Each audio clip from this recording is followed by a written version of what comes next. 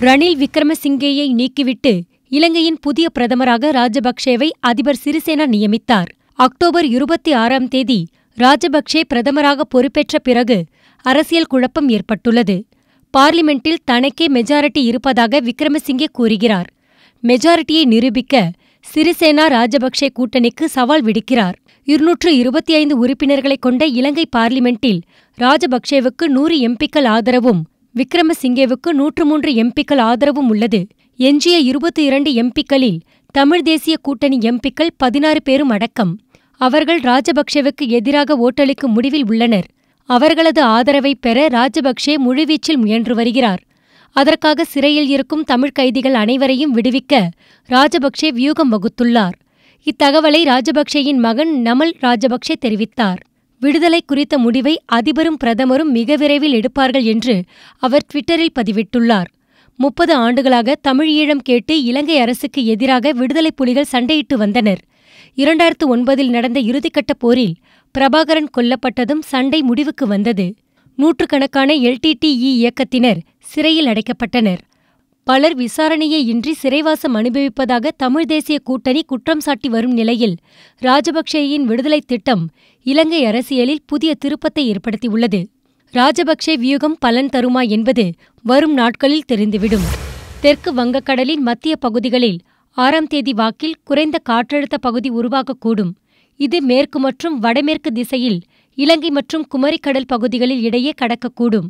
இதனால் ஆறாம் தேதி முதல் எட்டாம் தேதி வரை வடகிழக்கு பருவமழை வலுப்பெறும் என்று சென்னை வானிலை மைய இயக்குநர் பாலச்சந்திரன் கூறினார். கடந்த இருபத்தி நான்கு மணி நேரத்தில் தமிழகம் மற்றும் புதுச்சேரியில் பரவலாக மழை பெய்துள்ளது. அதிகபட்சமாக பாபநாசத்தில் பதினைந்து சென்டிமீட்டர் மழை பதிவாகியுள்ளது. குமரி மற்றும் மன்னார் வளைகுடாவில் ஏழு எட்டு தேதிகளில் கடல் சீற்றத்துடன் காணப்படும். காற்று மணிக்கு ஐம்பது கிலோமீட்டர் வேகத்தில் வீசக்கூடும்.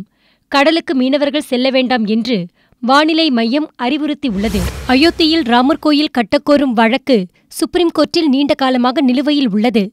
இந்த சூழலில் ஆல் இண்டியா புரொஃபஷனல்ஸ் காங்கிரஸ் சார்பில் மும்பையில் நடந்த கருத்தரங்கில் சுப்ரீம் கோர்ட் முன்னாள் நீதிபதி செலமேஸ்வர் கலந்து கொண்டார். அப்போது அவர் கூறுகையில் அயோத்தியில் ராமர் கோவிலை கட்ட அவசர சட்டத்தை மத்திய அரசு கொண்டு வர முடியும் என்றார். அயோத்தி வழக்கு சுப்ரீம் கோர்ட்டில் நிலுவையில் இருந்தாலும் கூட அவசர சட்டம் சாத்தியம்தான் என்று நீதிபதி செலமேஸ்வர் கூறினார். அவசர சட்டம் கொண்டு வந்தால் சட்டப்படி செல்லுமா செல்லாதா என்பது வேறு விஷயம். ஆனால் சட்டங்கள் மூலம் சுப்ரீம் கோர்ட் உத்தரவுகளை ஒன்றுமில்லாமல் செய்ய முடியும் என்பதற்கு முன்னுதாரணங்கள் உள்ளன என்று நீதிபதி செலமேஸ்வர் கூறினார். காவிரி நதிநீர் பிரச்சினையில் சுப்ரீம் கோர்ட் தீர்ப்பை ஏற்க மறுத்து கர்நாடக சட்டசபையில் சட்டம் கொண்டுவரப்பட்டது அதேபோலதான் ராஜஸ்தான் பஞ்சாப் ஹரியானா ஆகிய மாநிலங்களுக்கு இடையிலான தண்ணீர் பிரச்சினையிலும் சுப்ரீம் கோர்ட் உத்தரவுக்கு எதிராக சட்டம் கொண்டுவரப்பட்டது என்று நீதிபதி செலமேஸ்வர் உதாரணங்களை அடுக்கினார். ராமர் கோயில் மூலம் அரசியல் ஆதாயம் தேட முயற்சிப்பதாக பாரதிய ஜனதா மீது தொடர்ந்து காங்கிரஸ் குற்றம் சாட்டி வருகிறது. ஆனால் நீதிபதி செலமேஸ்வர் பங்கேற்ற நிகழ்ச்சிக்கு ஏற்பாடு செய்த ஆல் இண்டியா புரொஃபஷனல்ஸ் காங்கிரஸ் அமைப்பு காங்கிரஸ் கட்சியின் ஒரு பிரிவுதான். அதன் தலைவராக பதவி வகிப்பது திருவனந்தபுரம் காங்கிரஸ் எம்பி சசிதரூர் என்பது குறிப்பிடத்தக்கது. அரசியல் மருத்துவம் சமூக சேவையில் சிறந்து விளங்கிய பெண் தலைவர் என்ற முறையில் தமிழிசைக்கு அமெரிக்க அமைப்பு வளர்ந்து வரும் நட்சத்திரம் விருதை வழங்கியது.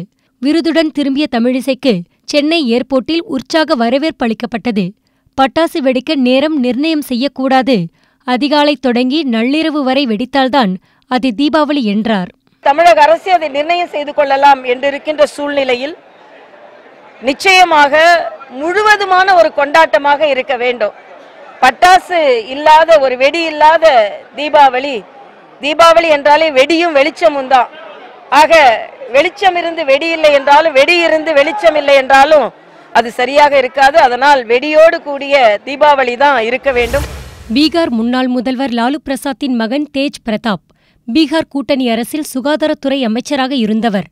தற்போது ராஷ்டிரிய ஜனதாதள எம்எல்ஏ.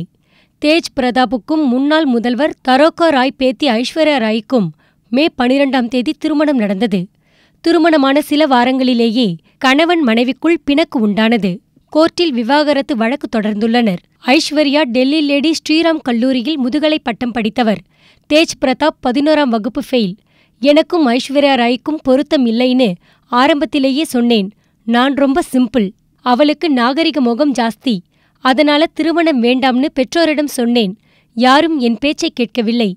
எங்கள் கட்சியில் இருப்பவர்களின் அரசியல் லாபத்துக்காக என்னை பலிகட ஆக்கிவிட்டார்கள் என்கிறார் தேஜ் பிரதாப். காட்டுத்தீவன ஊழல் வழக்கில் சிறை தண்டனை பெற்ற லாலு பிரசாத் உடல்நலக் குறைவு காரணமாக ராஞ்சி ரிம்ஸ் மருத்துவமனையில் சிகிச்சை பெற்று வருகிறார். அவரை சந்தித்து விவரத்தை கூறினார். பிரதமரே தலையிட்டாலும் என் முடிவை மாற்றிக்கொள்ள மாட்டேன் என்றார். இசையமைப்பாளர் ஏ ஆர் ரஹ்மான் வாழ்க்கை வரலாறை நோட்ஸ் ஆஃப் எ ட்ரீம் என்ற பெயரில் கிருஷ்ணா த்ரிலோக் எழுதியுள்ளார். அந்த புத்தகத்தில் ஏ ஆர் ரஹ்மான் வாழ்க்கையில் தான் சந்தித்த கஷ்டங்கள் குறித்தும் இதர சம்பவங்கள் குறித்தும் பேசியுள்ளார். புத்தக வெளியீட்டு விழா மும்பையில் நடந்தது. அப்போது ஏ ஆர் ரஹ்மான் அளித்த பேட்டியில் ஒன்பது வயதிலேயே தந்தையை இழந்ததால் என் வாழ்வில் பெரும் வெற்றிடம் ஏற்பட்டது. தற்கொலை செய்து கொள்ளலாம் என்ற எண்ணம் கூட ஏற்பட்டது. இருபத்தி ஐந்து வயது வரை தற்கொலை செய்யும் நினைப்பு இருந்தது என்று கூறினார். இடைப்பட்ட காலத்தில் பல சம்பவங்கள் நடந்தன. அது எனக்கு தைரியத்தை கொடுத்தது. பிறக்கும் அனைவருக்கும் நிச்சயம் சாவு உண்டு. எதற்காக பயப்பட வேண்டும் என்று ரகுமான் கூறினார்.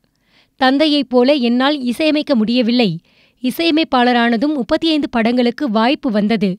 ஆனால் இரண்டு படங்களுக்கு மட்டுமே இசையமைத்தேன். எல்லாவற்றையும் ஒப்புக்கொள் என பலரும் கூறினர். எனக்கு உடன்பாடு இல்லை.